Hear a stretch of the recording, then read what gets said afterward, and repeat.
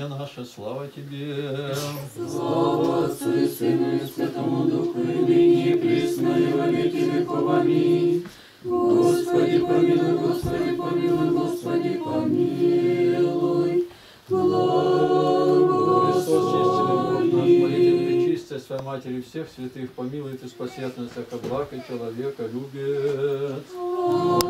Аминь. Помилуй, Господи, помилуй, Господи, помилуй.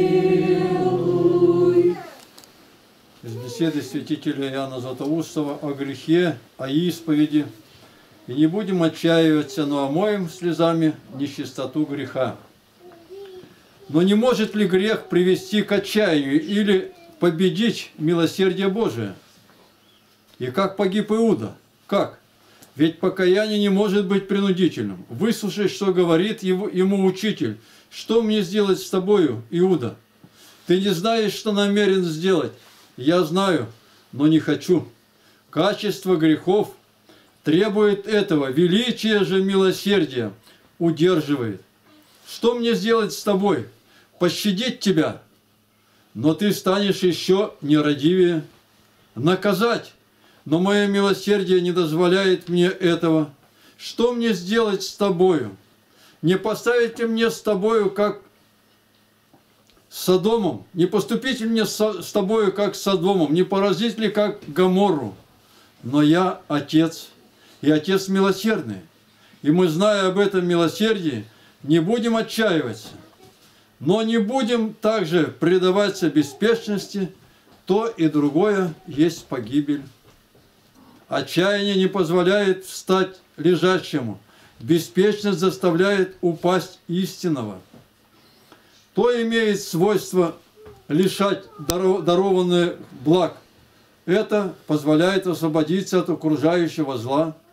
Нерадение не свергает самого неба, а отчаяние приводит к бездне зла.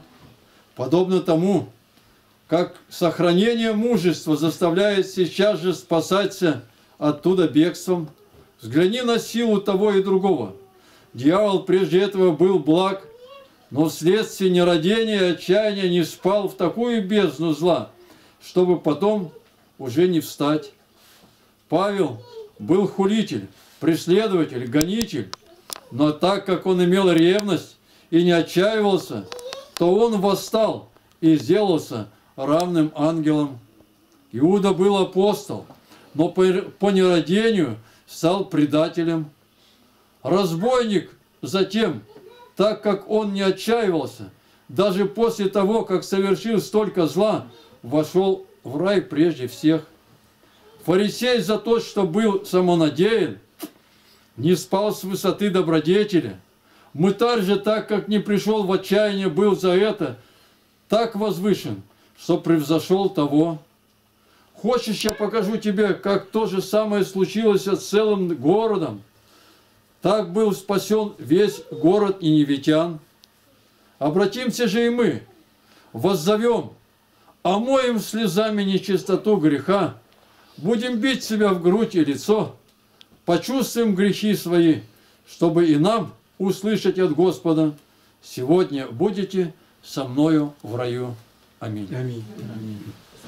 Кто готовился к исповеди, оставайтесь.